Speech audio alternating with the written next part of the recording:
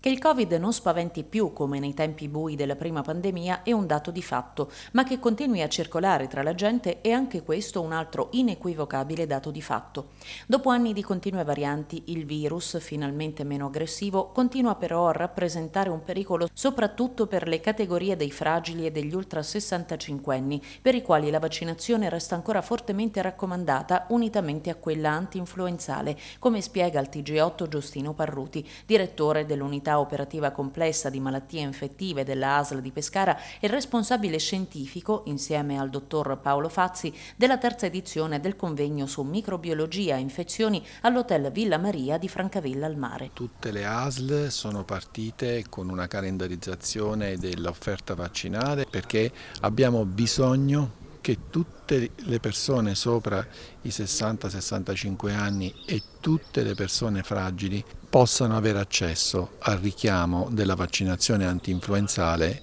e anti-Covid. Quindi la grande scommessa per i nostri servizi sarà quella di rendere possibile la cosomministrazione dei due vaccini, rendere quindi meno necessario moltiplicare gli accessi e soprattutto non perdere mai di vista gli altri vaccini che dobbiamo integrare per la nostra salute, cioè quello antipneumococcico e quello per il fuoco di Sant'Antonio, per lo zoster. Solo da una strategia così ampia potremo veramente cambiare l'orizzonte di salute della nostra popolazione fragile. Qual è attualmente la situazione eh, Covid? Il virus è ancora purtroppo tra noi? La circolazione c'è e stiamo avendo un grande successo nell'uso degli antivirali che quando la diagnosi è fatta tempestivamente ci ottengono un'interruzione della progressione dell'infezione verso le forme più eh, importanti di patologia respiratoria nelle persone fragili a rischio di progressione,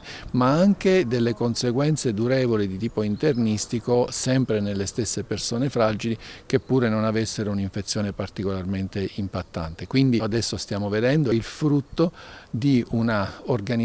strutturale ben congegnata a fronte di una persistente circolazione del SARS-CoV-2 che chiaramente dobbiamo continuare a considerare soprattutto con un ricorso al test nei casi sospetti. Dobbiamo farlo perché SARS-CoV-2 si può combattere bene solo quando tempestivamente diagnosticato. Oggi si parla di zoonosi, eh, dobbiamo aspettarci qualche altro virus pericoloso? Purtroppo dobbiamo aspettarci che il cambio climatico che si è determinato consenta la persistenza delle antropozoonosi che abbiamo già conosciuto